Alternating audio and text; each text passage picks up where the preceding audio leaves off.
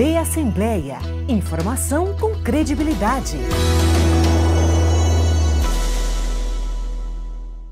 Comissão da Criança e Adolescente promove o primeiro encontro de conselheiros tutelares dos municípios goianos. Deputado Jefferson Rodrigues realiza homenagem a agentes prisionais. Esses são os destaques desta edição do Repórter Assembleia.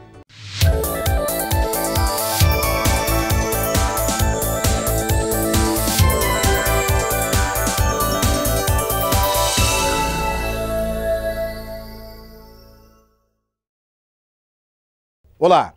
Presidida pelo deputado Carlos Antônio do PSDB, a Comissão da Criança e Adolescente promoveu nesta segunda-feira o primeiro encontro de presidentes de conselhos tutelares dos municípios goianos. O evento foi realizado no auditório Solon Amaral, tendo como tema central o debate sobre o protagonismo do Conselho Tutelar na sociedade atual. Veja na reportagem de Bruna Mastrella.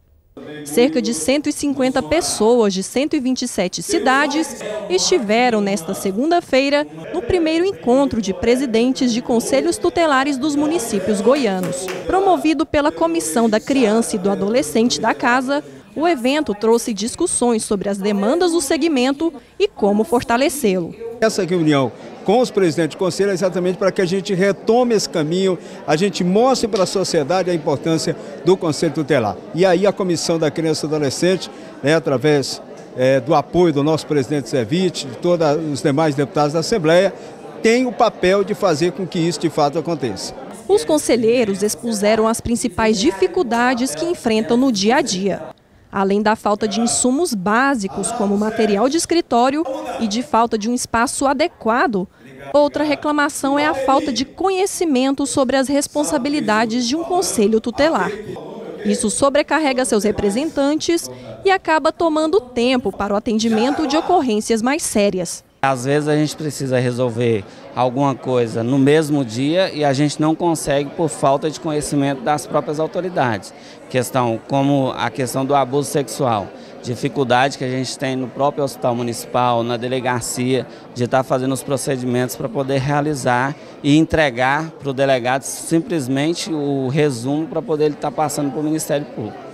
Além do desconhecimento sobre as funções de um conselho tutelar, Outra queixa frequente é a falta de apoio e de articulação entre instituições que, na prática, deveriam ser parceiras. A SDH, Sistema de Garantia de Direitos, funciona sistema de rede. Né? E para que tudo se funcione, todos os órgãos que fazem parte dessa rede, Ministério Público, Judiciário, Polícia Militar, Assistência Social, todos os órgãos públicos têm que funcionar em sintonia. E hoje não há essa sintonia, não há essa ligação, eles não falam a mesma língua, ficam distantes um do outro. E a solução que deveria ser imediata não vem. A criação recente do Estatuto da Criança e do Adolescente é apontada como motivo para o pouco preparo de instituições para lidar com os conselhos tutelares. O Conselho Tutelar trata-se de uma inovação trazida pelo Estatuto da Criança e Adolescente, uma inovação sem qualquer similar no direito anterior, e que isso gerou certa perplexidade em alguns atores do sistema de garantia dos direitos da criança e adolescente. Vários daqueles que fazem parte dessa rede de proteção da infância e da juventude é, demoraram um tanto para entender, compreender bem em que consiste as atribuições desse órgão, que é de extrema gravidade, de extrema relevância, e não obstante isso ainda não conseguiu ocupar o espaço político que lhe é cabível. Em solenidade realizada no auditório Costa Lima, o deputado Jefferson Rodrigues, do PRB, fez uma homenagem aos agentes carcerários, servidores da Superintendência Executiva de Administração Penitenciária. O evento contou com a presença de Ricardo Balestrini, secretário de Estado da Segurança Pública de Goiás, representando o governador Marconi Perillo. A cerimônia foi no auditório Costa Lima, da Assembleia Legislativa de Goiás, que ficou lotado. A iniciativa da homenagem a cerca de 300 agentes prisionais veio do deputado pastor Jefferson, que foi procurado pelo UNP Universal nos presídios. O projeto da Igreja Universal do Reino de Deus faz a ressocialização dos detentos em cerca de 88 estabelecimentos. Nós, o UNP Universal nos Presídios, trabalha especificamente na reintegração dos reeducandos prisionais com atividades socioeducativas e religiosas também, porque entendemos que eles devem sair e não retornar mais. A todos esses agentes que nós estaremos homenageando aqui hoje, 300 agentes que estão na área administrativa e que estão no dia a dia, na lida, né, no trabalho nos presídios, e a UNP, que é o trabalho evangelístico que a Igreja Universal desenvolve nos presídios, estará também é, parabenizando e estará dando o certificado também a todos os agentes prisionais do estado de Goiás. Os servidores receberam um diploma de reconhecimento aos serviços prestados. A participação dos agentes carcerários é fundamental no projeto de recuperação dos presos, já que estão em contato direto com os detentos no dia a dia. Em Goiás, existem 800 agentes prisionais, mas o ideal, de acordo com a associação, seriam de 3.500. Essa homenagem vem vem nos agraciar, vem nos motivar e dar mais força para proteger a sociedade goiana, proteger os apenados, cuidar para que não aconteçam mortes violentas, não aconteçam fugas, até porque o princípio da dignidade humana deve ser respeitado e o agente prisional hoje trabalha sobre os pilares da humanização da pena, vigilância, segurança e disciplina. Também participaram da cerimônia servidores administrativos e o secretário de Segurança Pública, que anunciou que houve no Ministério Público a assinatura de um TAC, termo de ajustamento de conduta, em que ficou acordado que serão chamados para preencher o quadro de agentes todo o cadastro de reserva dos últimos concursos. Os nossos agentes prisionais têm feito um trabalho heróico, não só na contenção dos presos, mas muitos deles envolvidos na reeducação dos presos. E em pequeníssimo número, nós estamos fazendo um grande esforço para suprir. Temos um termo de ajustamento de conduta assinado entre o governo e o Ministério Público, que é novo, que foi finalizado na semana passada e que vai nos dar condições agora de começar um processo de reposição da falta de agentes prisionais. De fato, uma profissão de muito risco, né? Mas um evento como esse, um reconhecimento, uma propositura do deputado Jefferson Rodrigues, visa dar visibilidade a esse servidor e visa, ao tempo dessa visibilidade, demonstrar a importância, a relevância do serviço do servidor penitenciário para toda a sociedade como um todo. Eu estou há 31 anos e sinto que nós temos ali uma função social muito importante. Já está disponível nas drogarias o teste rápido para detectar o vírus HIV. O teste é simples e foi desenvolvido com o objetivo de facilitar o acesso das pessoas a esta informação e evitar qualquer tipo de constrangimento. O teste também pode ser encontrado na rede pública de saúde. Confira detalhes na reportagem de Edrisa Borges. O primeiro teste rápido para HIV, liberado pela Anvisa, está disponível em algumas farmácias.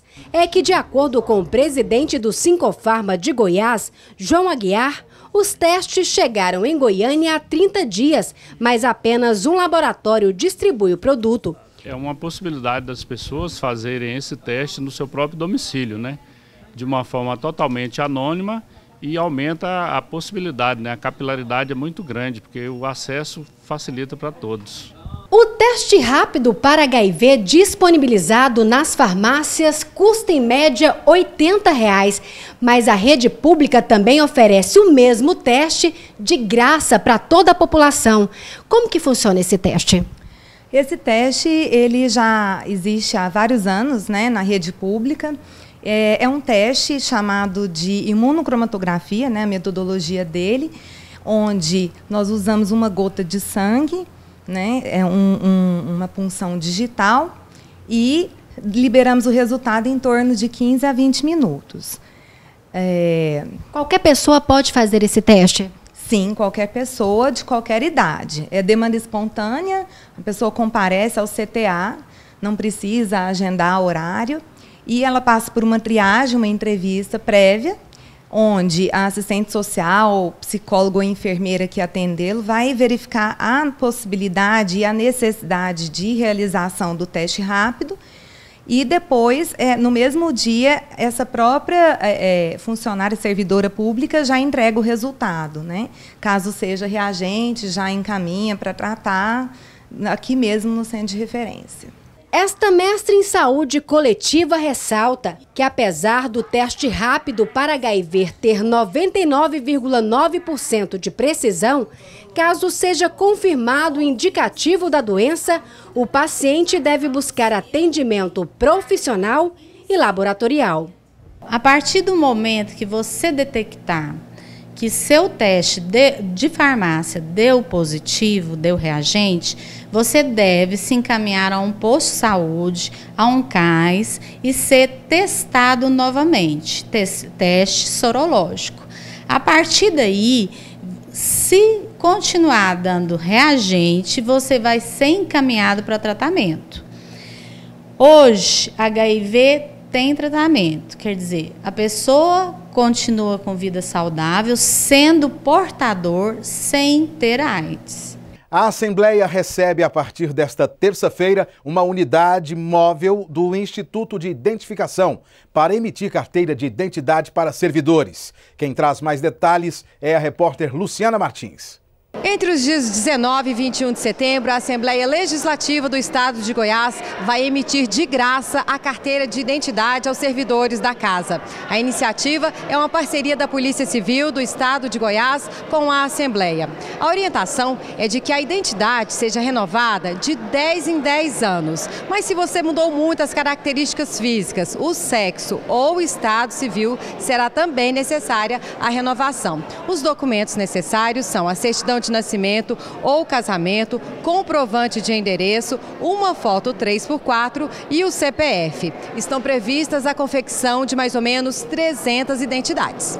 Obrigado, Luciana. E para esta terça-feira, por iniciativa do deputado Francisco Oliveira, do PSDB, o projeto Terça Cultural da Casa traz as diversas expressões culturais de municípios goianos.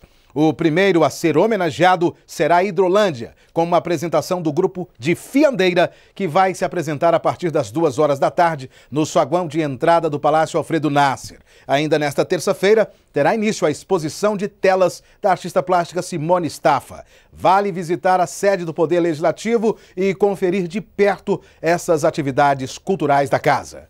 E esta edição do Repórter Assembleia termina aqui.